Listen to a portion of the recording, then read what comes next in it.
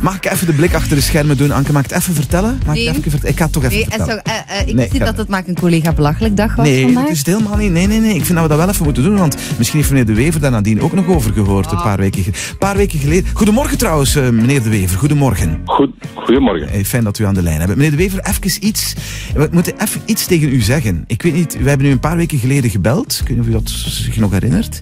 Ja, zeker. Ja, ja, en Anke was heel stil in dat gesprek.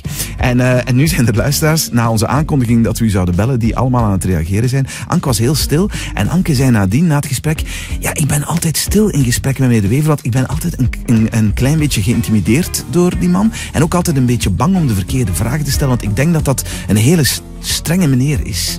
En ze heeft dat op de radio gezegd en er zijn heel veel reacties op gekomen. Is dat tot bij u gekomen, dat ze een beetje schrik heeft van u? Of heeft niemand dat gezegd tegen u?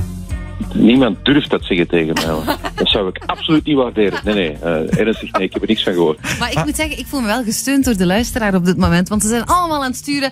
eh, je kunt het, kom aan, je doet het. Ja, maar waarom? Zijn. Maar hebt u dat wel eens? eh, Begrijpt u dat mensen soms zo geïntimideerd zijn door uw persoonlijkheid, meneer De Wever?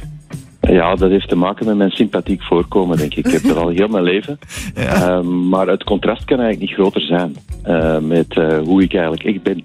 Ik kan helemaal niet hard zijn met mensen. Absoluut niet. Dat is mijn grootste eh, zwaktepunt eigenlijk. Ja. Ja, meent u? Als ik een slechte evaluatie van personeel moet doen, dat is eh, drie dagen stress op voorhand. En dikwijls komen die nog met een promotie buiten dan. Ja. Ja, en waar zou dat dan mee te maken hebben? Met, eh, oh, met standpunten die u inneemt? Of de manier waarop u praat? Of hoe zou dat eigenlijk komen, denkt u?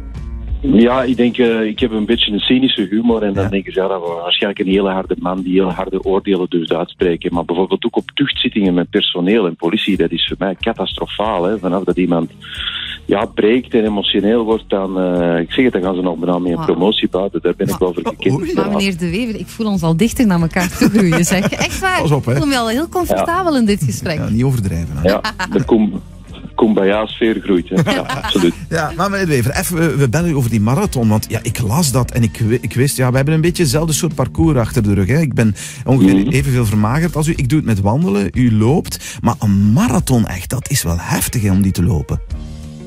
Ja, dat leek een goed idee een half jaar geleden. En ben sindsdien wel iets minder overtuigd. Ik had eh, de 10 miles al een paar keer gedaan. Ja. En je moet dan een nieuwe uitdaging hebben.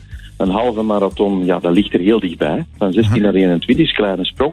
Dus waarom geen volledige marathon? Dat leek toen zo logisch. Eh, vandaag eh, lijkt het dat nu net iets minder. Maar hoe hebt u getraind? Hebt u, want dat is, allee, ik, ik ken wel mensen die marathons lopen. Dat is niet even tussen de soep en de patatten te doen, hè?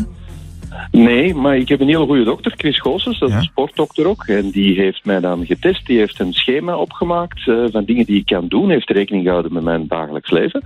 En dan is dat eigenlijk wel te doen. Ik heb een loopband hier op zolder, ik heb een loopband op het stadhuis. Ja. En je hebt altijd wel een uurtje, hè. of je staat een uurtje vroeger op, of je blijft wat langer op. En dan lukt het wel om die schema's af te lopen. En ja, ik heb ze allemaal gedaan, een half jaar, al die eh, loopjes. Dus het zou moeten kunnen lukken. En wat is de langste afstand die u nu al gedaan hebt op training? Vijfen- 35. Ja, dan komt het eigenlijk wel dicht in de buurt. Hè? En ging dat goed? Ehm laat ons zeggen dat ik die redelijk goed heb doorstaan, maar het idee van er dan nog zeven bij te lopen, dat stond ongeveer gelijk aan euthanasie op dat moment. Dus ik ben toch nog altijd heel ongerust eh, over die laatste kilometers. Anke zit nu al goed te glimlachen al het hele gesprek. Je moet ook nog een vraag stellen. Dan komt Ja. het helemaal vertrouwd over, hè, Anke. Vraag misschien... wat- Gaat u vanavond toch frietjes eten? Ja, goede vraag. Eh, nee, je heeft Nee? ook een heel voeding, een voedingsschema dat je moet volgen. Dus ik ben nu koolhydraten aan het stakken, zoals dat heet. Ja. Eh, dat wil zeggen, ik ben pasta aan het eten, de laatste drie dagen voor de wedstrijd. Ja, ja, ja. Ja. Ja. Maar en dan vanaf maandag gaat de riemer toch af, hè? Een beetje.